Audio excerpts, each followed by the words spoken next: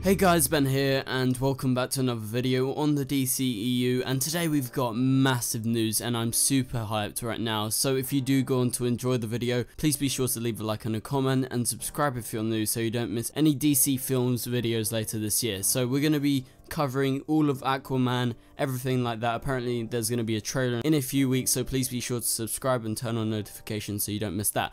But we have massive news and I'm really, really excited right now because it's been revealed that DC is making a New Gods film. So some of you guys might not know what New Gods is, but it was a comic book storyline that was created by the infamous Jack Kirby. This was created around the 1970s and the essential storyline of that is Highfather versus Darkseid and that is massive. I'm a massive Darkseid fan, I'm a massive New Gods fan because I love the conflict that they have going on between New Genesis and Apokolips and we're going to be able to explore those planets and that is just a dream come true because when they dropped that easter egg in Batman vs Superman when we saw Lex Luthor's painting I was like oh my god, they are parademons, like what is going on? And we got Justice League and we got a character from Apokolips and we got the parademons from Apokolips. so that just sets up the idea for it. And I said this when Justice League came out, yeah, it was an enjoyable film, it wasn't a perfect film, it was nowhere near, but basically what it did was set up the Justice League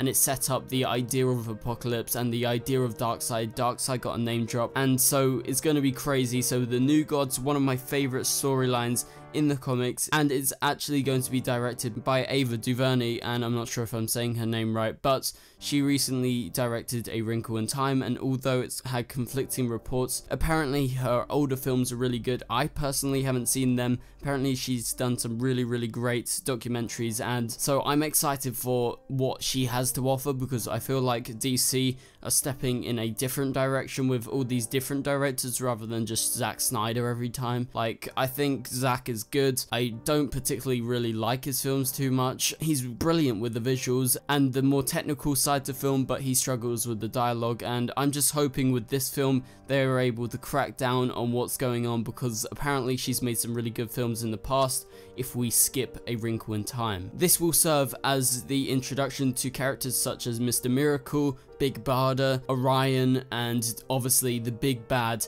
Darkseid, who's definitely going to be the main villain in this film, and I do think it will be told from the perspective of the people from New Genesis, and I'm guessing if we're going to follow them on New Genesis, it will probably mainly be to do with Orion, so hopefully they cast someone really cool, and if you didn't know, Orion's actually the son of Darkseid, but they did a trade and he was actually sent to Highfather on New Genesis in the comics. So he's like probably the biggest superhero there and I think it would be wise if they followed them and then we could get into the Apokolips Big Barda stuff over there with her team because the team that she is in is really awesome and I love the team ups that they have. And obviously it has a big link to Superman and the Justice League but I feel like this will be more setting up the lore of this. And this is a cosmic film. So this is going to be something very different because all the films so far have been set on earth and I think this is a big jump. And if this is made before Green Lantern it might set up part of the Green Lantern film because that's a cosmic film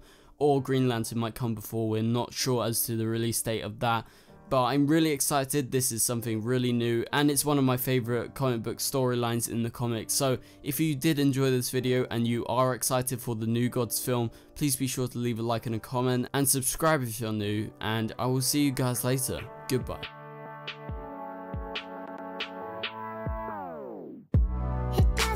strong, doesn't make